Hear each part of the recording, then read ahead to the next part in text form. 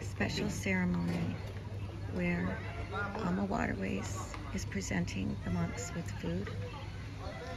And I thought this would be a special moment in time to share with all. So I'm going to be quiet and we'll watch this moment.